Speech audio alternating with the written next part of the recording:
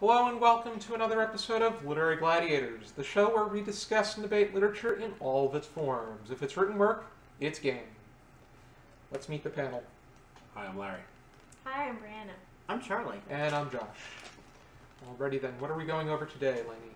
A Poor Christian Looks at the Ghetto by Czeslaw Milosz. Alrighty. Do you believe that historical context is important when approaching this poem? Absolutely. I think that one can. I think it can be taken for face value, but it really helps that this is a Polish poet Yes.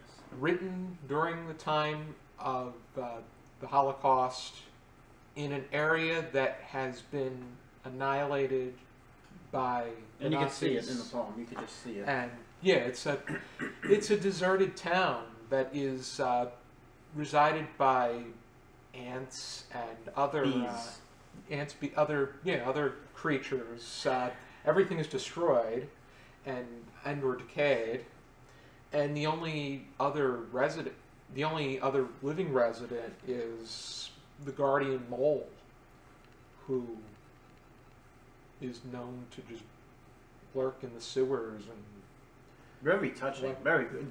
Mountain moving for me. You could tell that was sucking. I think right? if you have the background, it gives it a lot more meaning, and it's Mhm. definitely more intense. It's interesting how he uh, describes himself as the uh, the subject, uh, Jew of the New Testament, which is a Christian. Yeah, I think what he's trying to say there is that uh, there's no serious distinction between people, right? It's like circumcised, uncircumcised. No, it isn't. Mm-hmm. Doesn't matter. It's just, uh, Mm-hmm. yeah, it's just, you know, you are. Keeping in mind that uh, circumcision was not as common among non-Jewish people back in that day. Right. Now, because of health practices, it's uh, become much more common for everybody. In this country, anyway. Yeah, especially in America. If I do grow faint because of, you know talking about that will make me a little. I should have said that earlier, but it's okay. But- Yeah, but no, it doesn't. It doesn't matter. You know. But otherwise, I think that you uh, are correct uh, with the fact that, uh, regardless of your religion, uh, this is uh, a poem about uh, this being this wasteland. Kind of reminds me of T.S. Eliot's The Mhm. Wasteland. Yeah. Just But- the idea, it's just that particular idea. You know, and whether you are a Catholic or a Jewish person, it doesn't. It doesn't matter. But uh, there's there's different. Um, Jesus was Jewish when he and he and he founded the Catholic Church. So, Mm. what do you want to do with that one? The fact that Jesus, Jesus himself was Jew, and it says yeah, down here, that's exactly. waiting two thousand years for the second coming of Jesus. Um, It's just the idea that yeah, it's the whole lot because the uh, second the coming- Jewish people did not believe that uh, Yes, they were- they Jesus were was the waiting. Messiah. They were waiting. That's why they the have a people lot of that them. converted to Christianity, that's what they believed. Yes. Uh, that's where the split takes place. Yeah. Mhm. Which, in They turn, yeah. Oh, I'm sorry. but it's just this idea. Uh, uh, Milosz had a lot of uh, agnostic thoughts in his writing. He he questioned a lot of uh, uh, what if, uh, why is this the way it is? Wh- Why is this going on? Uh, Mhm. Yeah, like I read in his early years, he identified as an atheist. Um, uh, an informed, well-informed atheist. But then he he transitioned back to Catholicism. yeah, when when was that? It was after that. By the time he was uh, older, he was uh, he had converted back to Catholicism. Yeah. Big process to, to we convert to something, to anything, especially with religion. When you convert, it takes a lot. Dedication, hard work. you know. But it was also it was Nazism versus communism was another divide. uh, which went- Mhm. But I think that another interesting uh, work of his that uh, has that kind of uh, agnostic or atheist uh, train of thought is uh, An Alcoholic Enters the Gates of Heaven, which has to do with uh, this part. Can you really deem an alcoholic to be a bad person? Well, de- now for me, it would depend. Did you go home and beat your wife every night? Yes. Or no, I did not. Um, you know, there's you have your functioning alcoholics, you have me, your functioning cookieholics, but um, I'm gonna give that a rest because I am so tired right now. But uh, you know, it depends on how you lived your life. For me, that's how I would say. You know, in my views, you have to go up when, when and you have to meet your maker, and you say, "This is what I've done. This is what I'm proud of. This is what I'm not proud of." So you're saying it's like humility, really? Yeah, just letting yourself, you know, ground yourself, literally. And since this, you know, everything is on the ground in utter destruction, you have to really take that into consideration. This, like I said, just my view. This is a complete. This is uh, completely about uh, questioning one's environment. Oh yeah. I guess what I'm trying to get at here is whose perspective is this being told through? Is this uh, is this Nazi perspective? It's the Christian perspective. Because it would say at the A Polish Christian. I'm the thing I contemplate is whether or not it, uh, this uh, subject is living, dying, or already I deceased. Yes. kind of got the impression that it was someone who feels guilty I, I could say about what happened because it says, Hmm, a bystander. Yeah. yeah, and he will count me among the helpers of death. So he didn't do anything, Uh, and he's, a, you know, in that mole, he's afraid of the mole. Right. There were so many uh, bystanders during the Holocaust, and many of them did not speak up. Yeah, because there were like a lot of um, Christian organizations that felt it was like their religious duty to assist those in need, even though they were not Mm. Themselves Christian. Mhm. Because it's just the Christian thing to do.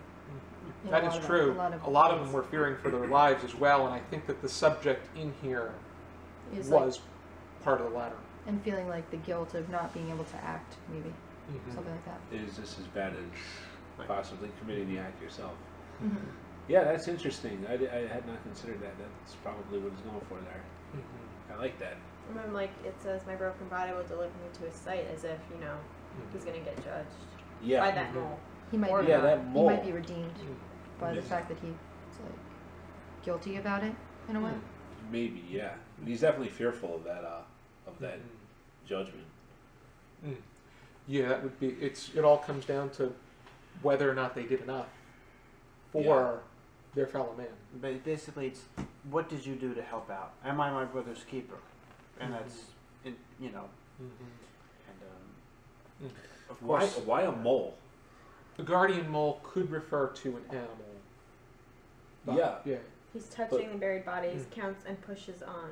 And you can tell the humans from the animals by the luminescence. Mm. So it's obviously some kind of supernatural. But why a mole of all things? Why? Why Moles are underground. They're uh, But an, why an extreme, animal? an extreme presence underground. This is I- strange. Just why the not? uh, idea. why not God? It's the idea of it's. It's a naturalistic argument, I would guess. If uh, the fact that uh, if if uh, Milosz was engaged in an atheistic uh, train of thought, and Christians and Jews were just groups of people that uh, identified uh, under a label, then to pick something that controls the uh, underground uh, environment. Um, Mm. You could do worms, but I think that moles are more. Uh, I think that the moles. More relatable to yeah, it's a humans, right? More like I that mean, or worms. They kind of have a nastier connotation. Worms and uh, bottom feeders like that. I think Moles like can survive like you typically like nuclear wastelands or stuff like that too. You could that and a mole has a has a greater uh, train of thought. Mhm. Worms just seem to act on instinct. I think Yeah. it's more like And it's more slimy. human. Like it's closer to humanity than a, a Mhm. worm would be in Yeah. this And- in this view. yeah. I don't read the Bible, but I, I Mm. know a lot about it, and I Mhm. go, to, you know, I'm not gonna tell you what I do every Sunday, uh, but I think I've said it in the past. I'm not sure at my Mm. church and all that. So I, uh, but uh, I was reading through one, and I, and it was about the Mm. Adam and Eve.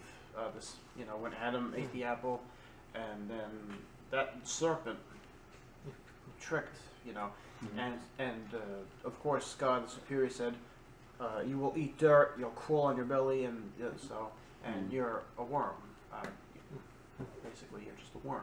Mm-hmm. And the mole, I think, yeah, as you said, had a better, um, had more of a brain, for, for the lack of better Yeah, I think that the mole's a bit more tactical. Yeah. Yeah, and it doesn't have the connotation of uh, things Mhm. that Mhm. riddle.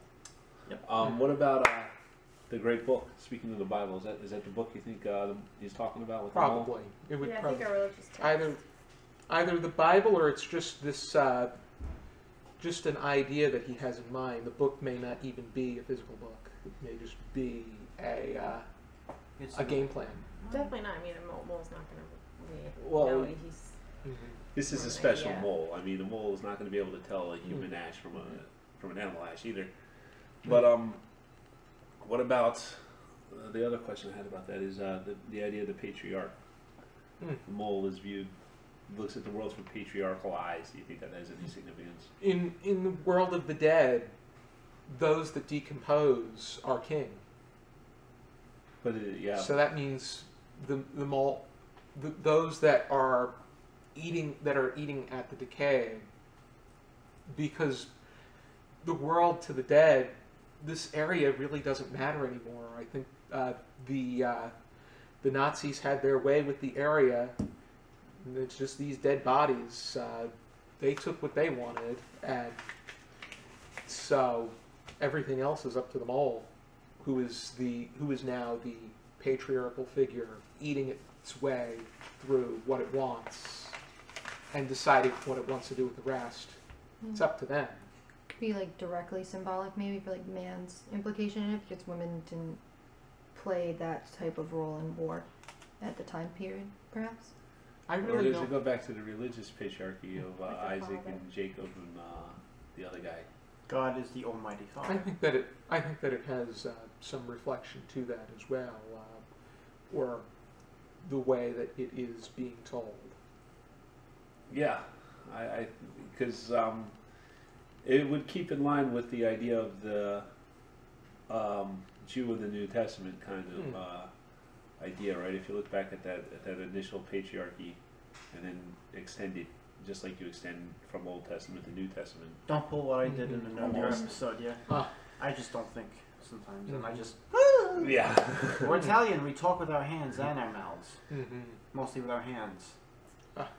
Ah. Yeah, I, I mean, love this- you. I'm this is a this is a good poem though. I like it. It's I like very it interesting. I, I like most of uh, just about anything I've read from uh, Milosz, which uh, I really want to explore uh, more of his uh, work. Uh, he, he actually uh, spent much of his life in America teaching at University of uh, USC Berkeley. Uh, Ber- Berkeley. Berkeley, yeah, Oh, that's which. a prestigious school. I think. and then he would, uh, after uh, the fall of the uh, communist empire, made his way uh, back and forth to uh, Poland. Uh, he would spend the summer in Poland and come here and teach. Hmm. Wow. Interesting. yeah, that Mhm. is interesting. Yeah, he was uh, quite a remarkable uh, individual. Very good. Things he probably has seen. hmm Yes, he has. Despe- because he's uh, World War II. Uh, he was living in the Polish underground as a journalist, and then after the war, uh, uh, he sided with the communists for a short period of time, but then he came to America, uh, surrendered that uh, way of life. He couldn't go back until after the empire fall, fell, and uh, that's uh, so it went. And then he won the Nobel Prize in Literature in 1980. But if you're interested in checking out his works, uh, the New and Collected Poems, 1931 to 2001. There's uh, also something else uh, beyond that, because he lived another three years. This particular poem is in the I think it was 1943. It It was 1943, says but the Warsaw. it, I could be wrong. it is in Voices of Poor People is the name of the group. Uh, it's part of the uh, Rescue, which he released in 1945. It's a very nice collection. Mm. It includes a song on the end of the world, song of a citizen, a poor poet, cafe, a poor Christian looks Yeah. at the ghetto, Yeah. and then outskirts. So he's pretty much uh, talking about the uh, environment that was left behind, that was uh, deserted because of the Holocaust, and all that remained were uh, Nothing. guilty uh, Well, that. Polish Christians, and very few of them as well. Mhm. And it's also probably worth uh, mentioning that the etymology of uh, the word ghetto comes from Jewish uh, neighborhoods. Mhm. That is for historical context. Mm. Mhm. That's always uh, noteworthy. Yeah, it keeps you in the time of the piece. Mhm. Yeah. Ready. Be sure to join us next time for another episode of Literary Gladiators. For now, Keep reading keep reading. and eating. Mm-hmm.